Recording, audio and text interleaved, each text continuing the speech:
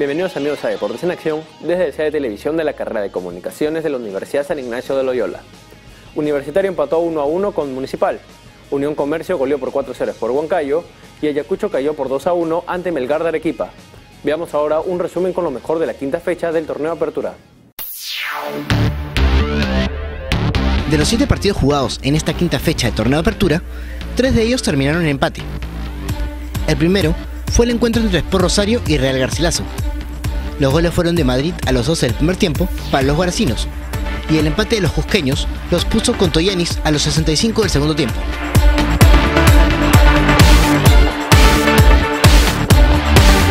Universitario no pudo local con Deportivo Municipal, y el encuentro terminó 1 a 1.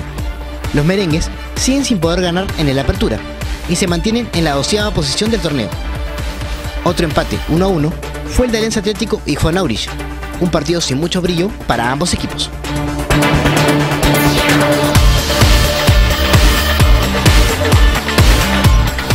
En otros resultados, Unión Comercio goleó a Sporroncayo 4-0. Comerciantes Unidos, de visitante, logró una victoria por la mínima diferencia frente al Cantolao. UTC volvió por la senda del triunfo, tras ganarle 3 a 1 a los Santos. Y finalmente, Melgar le ganó 2 a 1 a Ayacucho Fútbol Club, en el estadio Ciudad de Cumaná.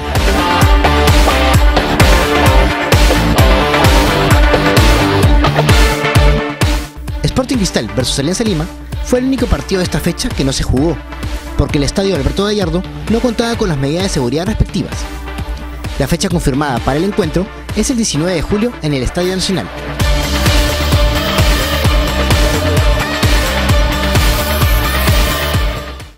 Ya se encuentra con nosotros nuestro comentarista Javier Reategui para analizar la quinta fecha del torneo de apertura que lidera Alianza Lima. Hola Javier, ¿cómo estás? Bienvenido. Hola Francisco, ¿qué tal? En una fecha interesante porque ha estado llena de empates, en una fecha que por la noción de la Copa Confederaciones, por la noción de diversos otros factores, ha perdido brillo esta fecha. Ha pasado un poco desapercibida. Desapercibida la fecha, sí. Eh, pero igual, eh, entendiendo un poco eh, cómo iban los equipos, había un bajón de algunos equipos, sobre todo por Rosario, por ejemplo, que termina empatando contra Real Garcilaso en su cancha y termina por dejar de ser fuerte en su campo, ¿no? En un partido muy aburrido, un partido que creo que resume lo que es el fútbol peruano, un partido lento, un partido que cuando no encuentra conexión eh, en la mitad del campo empieza a recurrir a los pelotazos largos sabiendo que no, que no tiene extremos o personas fuertes para aguantar el la pelota arriba. Sí, y un Sport Rosario que tuvo muchas posibilidades de gol, pero otra vez entramos en esa frase de goles que no haces, goles que te hacen, y termina Sport Rosario, eh, Real Garcilaso ganándole uno, eh, empatándole el partido. ¿no? Ahora, Municipal Universitario o Universitario Municipal se jugó en el Monumental en un partido que pintaba para ser más atractivo de lo que fue. Sí, eh, yo esperaba que ya con los refuerzos eh, de la selección, de los convocados que ya llegaban Universitario, eh, Universitario puede hacer un gran partido contra Municipal, pero termina otra vez con esos errores en defensa, con dos penales que terminan dejando el partido uno a uno, ¿no? yo creo que lo que presentó Municipal en el terreno sabía de que el Universitario es un equipo físico, es un equipo que presiona muy alto y cuando recupera intenta asociar a los jugadores teniéndolos a sus distintos ejes, ya sea Manicero, Guastavino o el jugador que le toque estar al medio. Lo que hace el municipal es con, eh, cortarle los, circuitos universitarios y universitario pierde esa tranquilidad que le, le, da tener la pelota. Sí, eh, tuvo muy, bueno, muy bien parada una defensa de, Municipal, eh, siempre con, con pierna fuerte, seguro de lo que hace y en el medio campo tener un muy buen este, triángulo para poder llegar a los pases y de la delantera. ¿no? Dentro de otros partidos interesantes, Ayacucho cayó de local contra Melgar en un partido que, que era, desde la previa era complicado para Melgar y que estaba llamado a ser otro partido que acrecentara la crisis que presentaba Melgar. Sí, un Melgar que ahora se mantiene arriba eh, y, eh, de la tabla, eh, manteniéndose con, con, los, con, los, con los que están ahí, Alianza y Unión Comercio este, para tratar de, salir del fondo porque no había entrado con un muy buen ritmo este, para, ese, para torneo. Eh, y bueno, nada, eh, creo que Melgar encuentra por ahí unos altos y bajos en ciertos momentos de los partidos, pero esta vez lo encontró, encontró la victoria, de repente un poco ajustada, pero un partido que fue interesante. ¿no? Ahora hay que hablar sobre la polémica de la fecha, sobre lo que está, el partido que estaba llamado a ser el partido de la fecha, el Sporting Cristal Alianza Lima, que termina siendo cancelado previos días antes del partido, eh, incluso hay, una, hay algo que, se, movió de que no se sabía si era por culpa de la UNAGI, si no era, por culpa de la Fiscalía de, Delitos o de Prevención de Delitos del Cono Norte o del mismo Sporting Cristal que había pedido no jugar. Javier, ¿por dónde gira la cancelación de este, de este partido? Eh, gira básicamente por la UNAGI, que va a, hacer el, el informe del estadio de cómo se encuentra en condiciones y ve que hay una construcción que es de la Municipalidad de Lima, que ya tiene ya mucho tiempo, que ya se sabía con anticipación.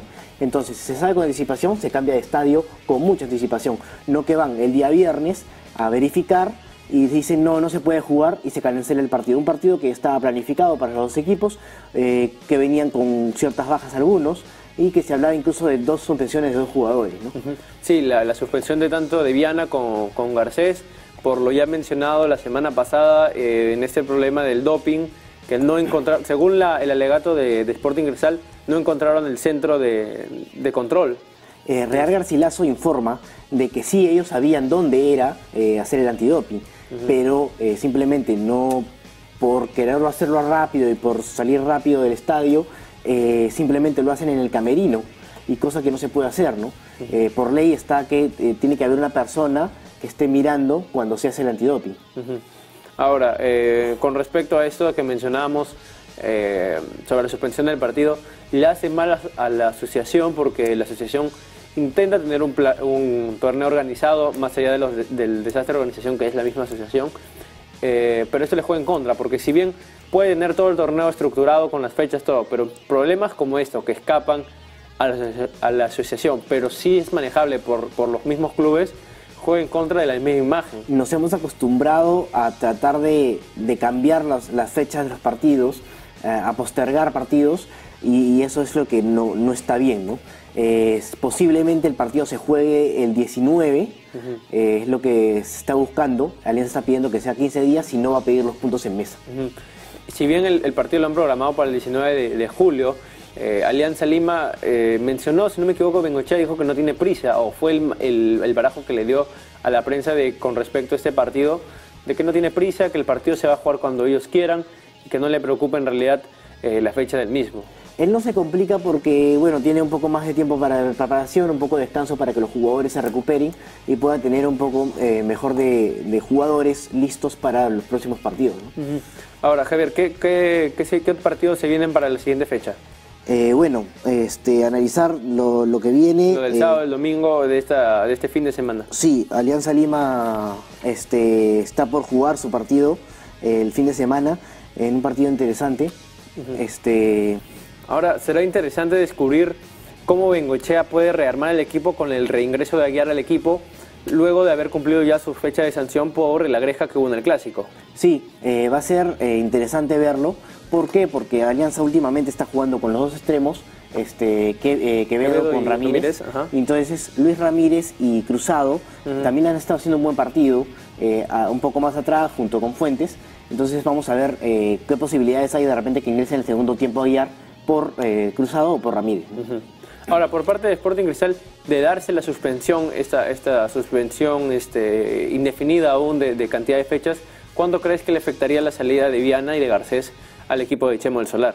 Bueno, eh, creo que eh, Cristal no tiene muchos defensas eh, con quien contar importantes y bueno, lo de Garcés era como que ya una ficha más este, para poder mantener esa defensa de cuatro que siempre tiene y un arquero Viana que ha tenido en los últimos partidos un bajón futbolístico que lo ha terminado por teniendo errores garrafales a veces eh, con partidos este, con los que ha tenido Cristal.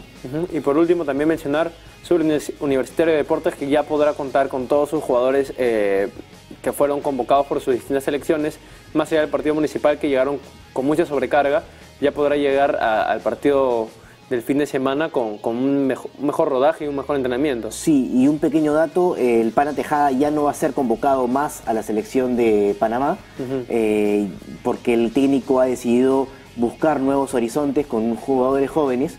Entonces eso le va a dar una posibilidad en los estadios para mantener a su equipo este, ideal, ¿no? Bueno, Javier, nos vemos la otra semana para seguir conversando acerca del torneo peruano. Listo.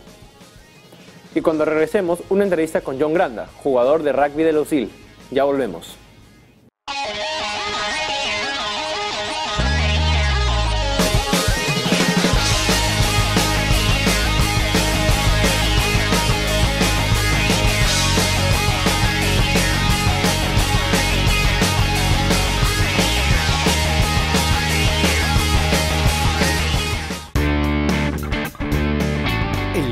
Negocios funciona en inglés.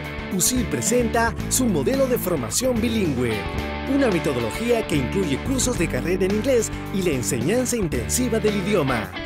Estudia en USIL y en nuestros programas de doble grado en inglés del Center for Global Education. Conviértete en un alumno sin fronteras. Emprendedores que forman emprendedores. usil.edu.pe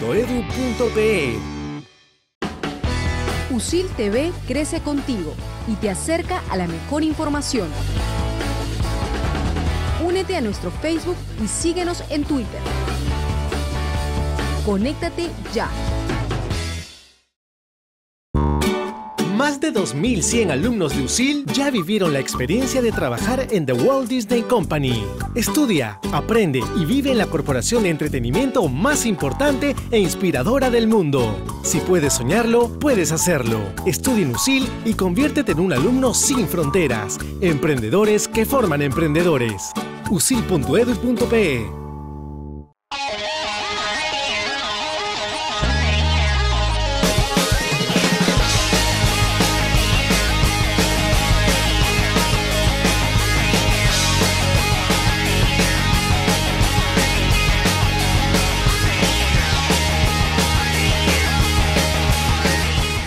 Damos la bienvenida a Deportes en Acción a John Granda, estudiante de Relaciones Internacionales y jugador de la selección de rugby USIL, que viene participando en el torneo metropolitano de la segunda división. Hola John, bienvenido. Hola, ¿qué tal? ¿Cómo estás? Bien. Cuéntanos un poco cuántas temporadas ya llevas con la selección ya. Ah, bueno, esta es mi sexta temporada regular con el equipo. Eh, comencé a jugar en el 2012 con la universidad. Comencé entrenando con ellos y después fui destacándome en el equipo hasta poder lograr mi sexta temporada consecutiva, ¿no? Fuera de lesiones, problemas que pueden haber dentro o fuera de la cancha. Están participando actualmente en el campeonato metropolitano. ¿Les, les va bien a pesar de que han tenido un recambio generacional así último este año? Sí, este, bueno, ah, ahorita estamos colocados en, la segunda, en, en el segundo puesto de la tabla. Estamos con 20 puntos por debajo de Fleming Lions, que es un equipo que tiene siempre campeonatos espectaculares. Eh, nos llevan por 3 puntos. Este, y después está eh, la Universidad de Lima con 16 puntos. Entonces hay una brecha ahí bien grande entre el segundo y el tercer puesto, ¿no? Eso quiere decir que somos competidores directos con los Fleming Lions. Eh, tuvimos el partido contra ellos hace dos semanas en el que perdimos 36 a 10. Eh, en realidad fue un partido para cualquiera, ¿no? el margen de error fue mínimo, entonces el primer error entraban los puntos, ¿no? Supieron aprovechar los penales, sin embargo nosotros nos mantuvimos ahí este, siempre al, al, margen de ellos, ¿no? Para poder este, marcar cualquier punto, algún penal o algo que siempre eh, esté, a nuestro favor. Eh, van cinco partidos disputados por parte de ustedes, han ganado cuatro y han perdido solo uno. Sí, este, nuestro primer partido fue contra el Liceo Naval, el equipo que se llama Navy Warriors. Fue un, equipo, un partido que la verdad no pensamos que nos iba a ir tan bien. Eh, ganamos 46 a 0 eh, fue una diferencia muy abultada, no nos marcaron ningún punto en contra. Este, después jugamos contra el equipo del Colegio Markham, que son los All Markhamians, contra su equipo B. Eh, también tuvimos un marcador muy abultado que fue de 48-0, si no me equivoco. Este, nuestro tercer partido vino después de dos fechas descansando, porque no se presentó el equipo de la San Marcos ni el equipo de la Marina, que se le llaman ESNA. Entonces, este, después de ese partido competimos contra la Universidad Nacional de Ingeniería, la UNI, que se hacen llamar los Amarus. este, fue un partido que en realidad pensamos que no iba a ser tan perfecto, porque la verdad creo que errores no tuvimos. el marcador también fue demasiado abultado, que fue 96 a 6. Era la primera vez que en esas tres fechas de partido lográbamos pasar encima de los 70, de los 70 puntos. Eh, con decirte que el primer tiempo el marcador quedó 26 a 3 y el segundo tiempo quedó con diferencias de 70 puntos, ¿no? O sea, 96 a 6 es demasiado. Este, después ya estuvimos pensando contra el rival que era Fleming Lions. Fue un partido que toda la semana estuvimos entrenando a full, este, nos escapábamos de clases, este, entrenábamos en las noches, nos quedábamos entrenando hasta tarde. Este, para poder tener un excelente partido. Sin embargo, creo que el tema de, de experiencia dentro de la cancha nos jugó en contra un poco porque ellos tienen jugadores que tienen varios años jugando, compitiendo, entonces supieron manejar el partido. Eh, el equipo de, los Fleming Lions destacó por sus forwards, que vienen a ser los jugadores más pesados dentro de la cancha.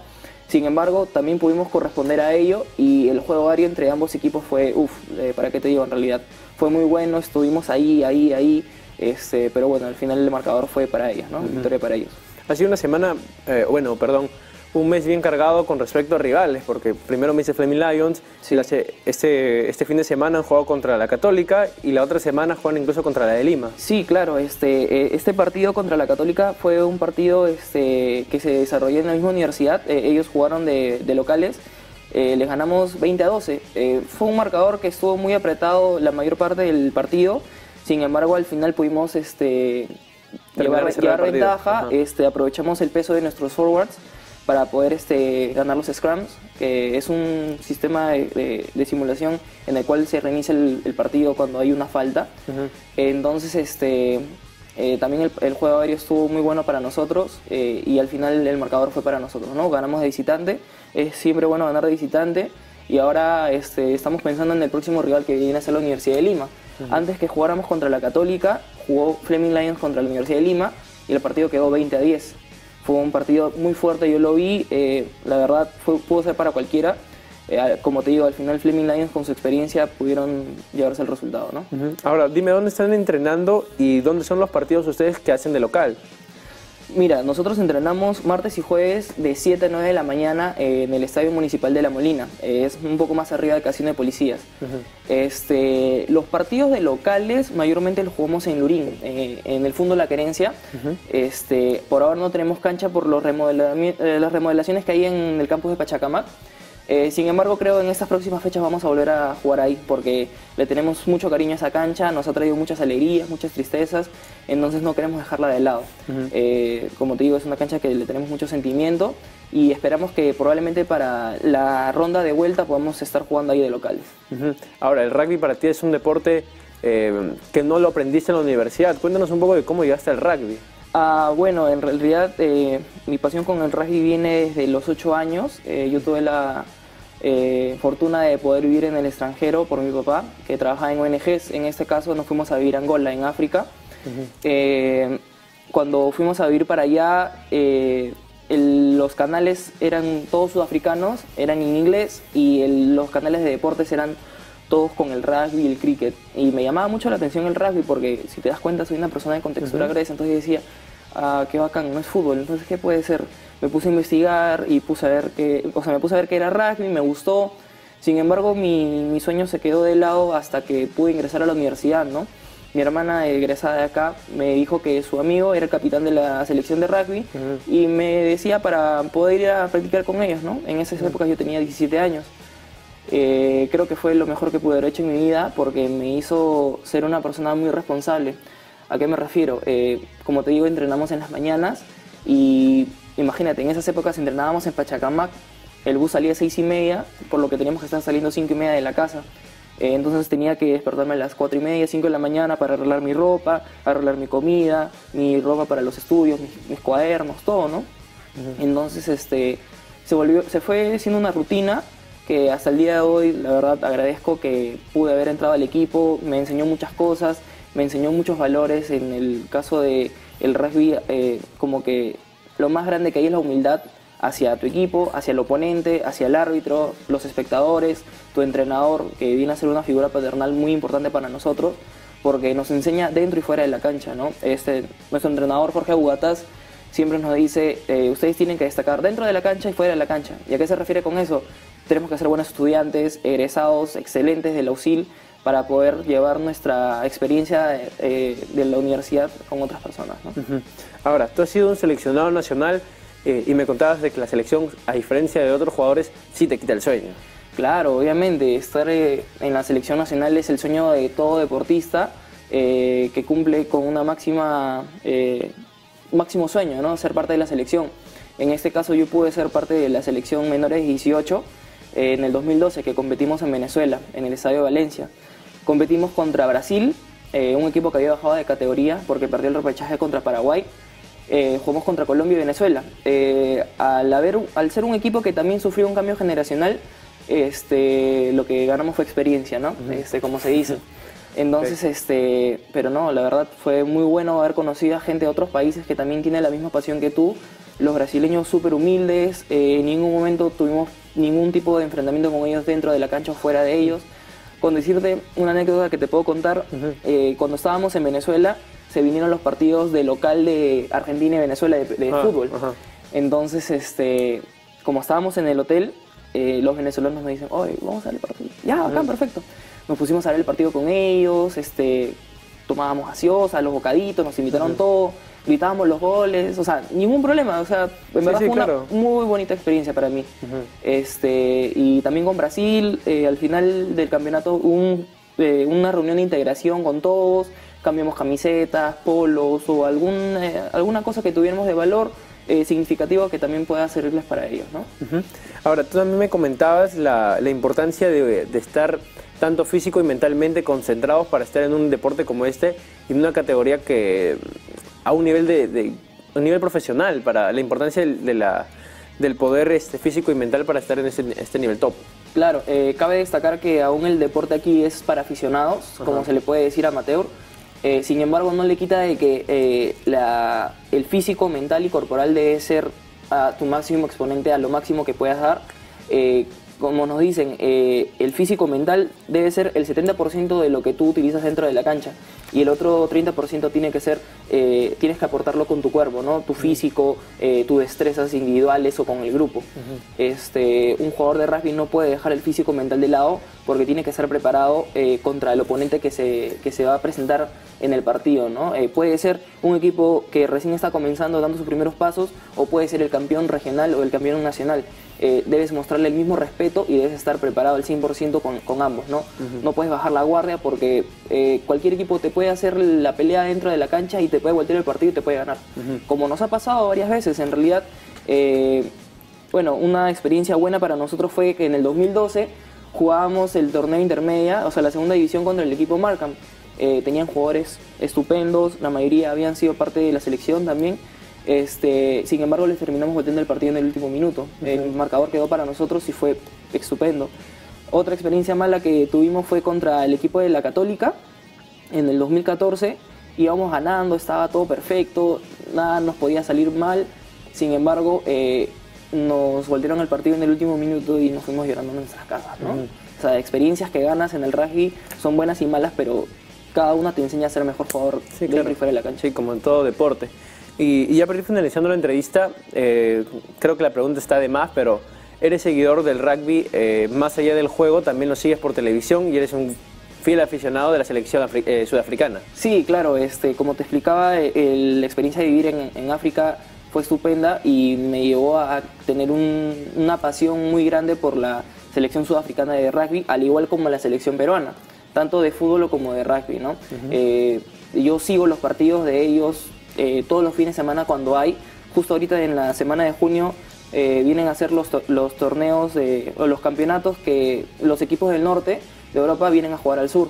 En este caso, por decirte, Sudáfrica está compitiendo con Francia, eh, in- eh, Australia está compitiendo contra eh, Escocia, perdieron la semana pasada, y hay un combinado del Reino Unido que este año les toca jugar contra las comu- mancomunidades, el Commonwealth, pero este año específicamente con Nueva Zelanda.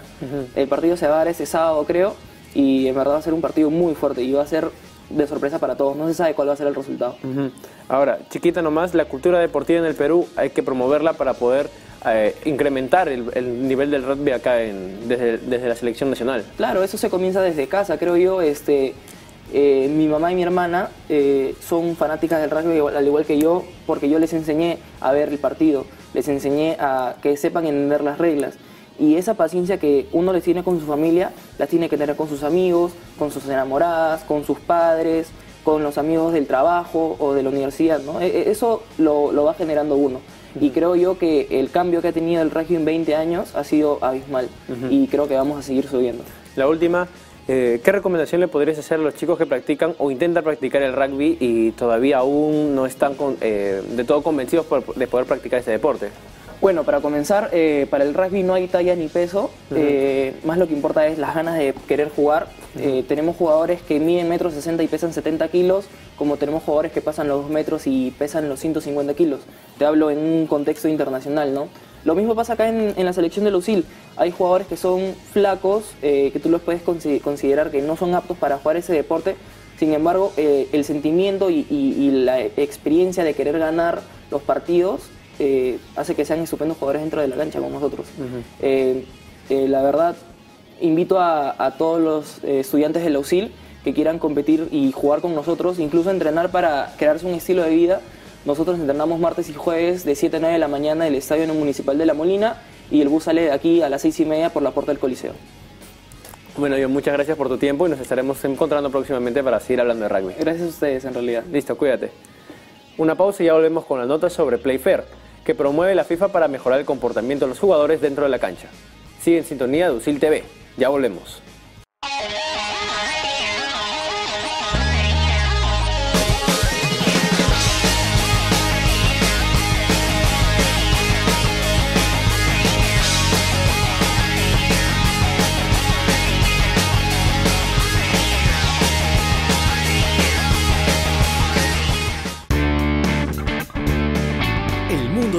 Negocios funciona en inglés. USIL presenta su modelo de formación bilingüe. Una metodología que incluye cursos de carrera en inglés y la enseñanza intensiva del idioma.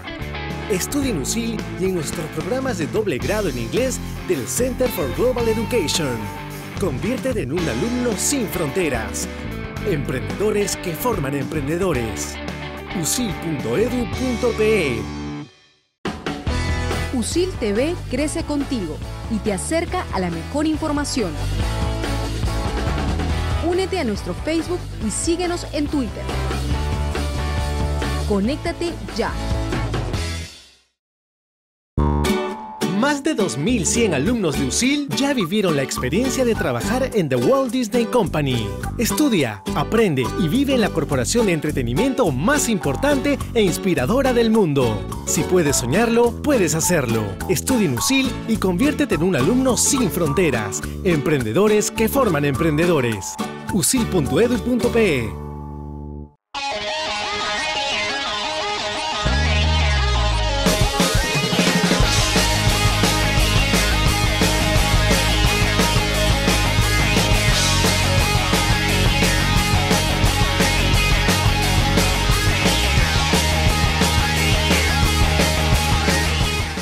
veamos una nota sobre el Playfair, que promueve la FIFA para mejorar el comportamiento de los jugadores dentro de las canchas de fútbol.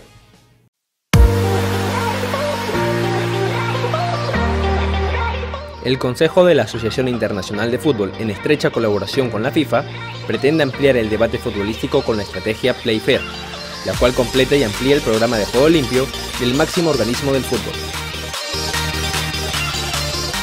El optimizar el respeto entre los jugadores y la terna arbitral es clave para conservar el espíritu de juego limpio en el fútbol. Para evitar agresiones entre ellos, con estas nuevas normativas, los capitanes serán los únicos jugadores que podrán conversar con el árbitro.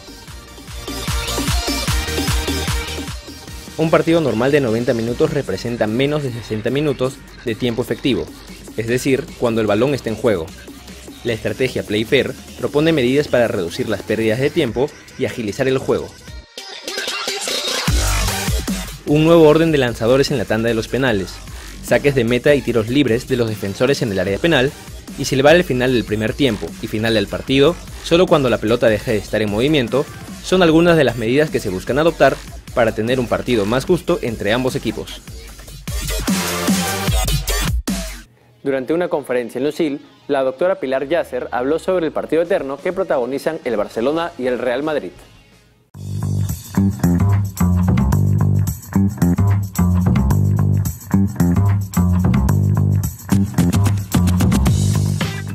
Desde inicios del siglo XXI, el mundo de los negocios ha puesto su mirada en la millonaria industria del fútbol, la cual reúne las condiciones ideales para desarrollar planes de negocios exitosos.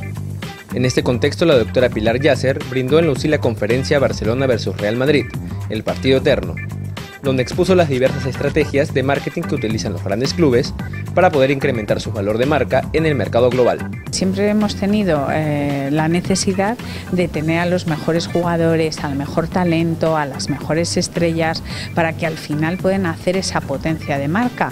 Pero no debemos tener el foco de que las mejores ideas, y no solamente las mejores ideas, sino luego la capacidad de poder implementar esas ideas, viene por tener gente muy buena en el equipo y sobre todo por tener directivos, managers que sepan hacer esa labor del entrenador, o sea, que sepan cuadrar todas las piezas, que sepan dirigirles bien y ahí está yo creo la, la base de esos nuevos horizontes que vienen. ¿Cómo satisfacer la demanda a nivel local y global?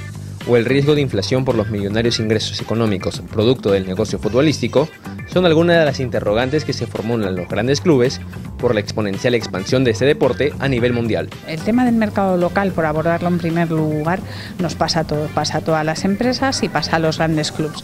Los mercados pequeños, si yo quiero montar una cadena de supermercados, puedo franquiciarlo, pero llega un momento en que mi mercado se me queda pequeño. Con lo cual hay todas las estrategias de exportación o todas las estrategias de globalización. Y en cuanto al eh, otro punto del, peligro de infracción por la Superliga China, eh, eso es un, un, riesgo que si bien hay que estar pendiente, no podemos nunca, mm, por así decirlo, dejar a un lado porque pasa en todos los sectores. ¿no? En cuanto un sector va bien, pues ahora todos los puestos relacionados con tecnología en cualquier empresa también están incrementando mucho los salarios. Con lo cual lo que hay que estar es bien pendiente para saber dónde va el mercado y aún así, y a pesar de eso, adaptar tu estrategia. La relación entre los clubes y sus aficionados ha evolucionado en los últimos años. Las redes sociales han tomado un valor fundamental al momento de definir los enfoques de comunicación y la elección de los agentes para fortalecer una credibilidad de marca. No solamente es el canal que utilicemos, hay muchísimos canales para impactar a nuestros eh, clientes, sino que es el mensaje. Se trata de algo muy, muy sencillo, que es contar historias que enamoren. Pero claro, una historia no es lo mismo contarla en Twitter, que son 140 caracteres, que extenderlo en, en, en, Facebook en un blog. Entonces hay que tener mucha importancia en el mensaje. Y el tercer pilar que cambia es quién lo cuenta. Un mensaje corporativo tiene poca credibilidad, porque nunca te van a contar algo que esté mal un fallo lo cuentan de una forma muy adornada, en cambio la espontaneidad, la cercanía, el poder equivocarse cuando uno habla, eso al final es lo, auténtico, ¿no? Lo, lo, que más es creíble, lo que te hace seguir a una marca y seguirlo en cualquier parte del mundo. Pese a los mediáticos fichajes, los cuales bordean cifras estratosféricas, y el gran poderío económico que ostenta la Superliga China, esta aún no es parte de la máxima categoría del fútbol mundial. Pilar Yasser explica cuál es el factor determinante que necesita esta nueva liga para ser atractiva para los jugadores y espectadores. Realmente le falta esa parte de posicionamiento, eh, esa falta de, sueños, es, esa parte histórica, ¿no? porque claro, si uno ha impactado, los 12 grandes clubes llevan mucho tiempo impactando pero desde luego que estamos en un mundo que crece exponencialmente y yo no tengo ninguna duda de que lo van a conseguir, lo van a conseguir.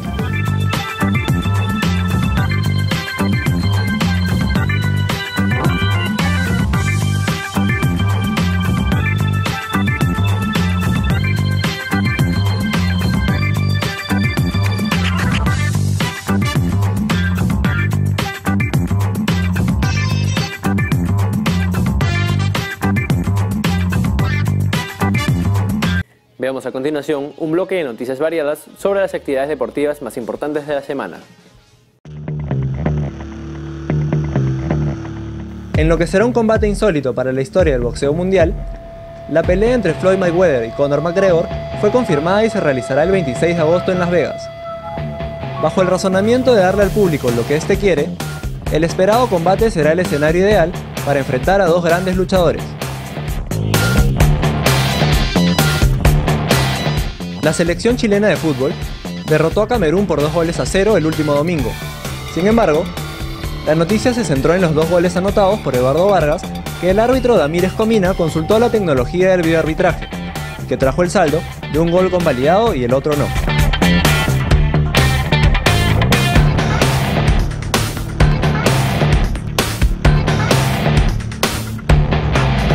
En el último clásico carioca disputado el domingo entre Flamengo y Fluminense, Miguel Trauco anotó el empate a dos en el minuto final y logró llegar a cuatro goles en la temporada. De esta forma, El peruano supera laterales de la talla de Marcelo, Gabriel Mercado o el chileno Jambo Seyur.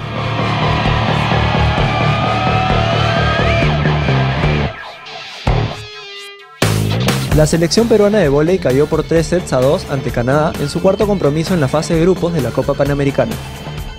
A pesar del resultado, la bicolor ha clasificado a cuartos de final del torneo y sigue siendo un firme candidato para ganar esta competición por cuarta vez.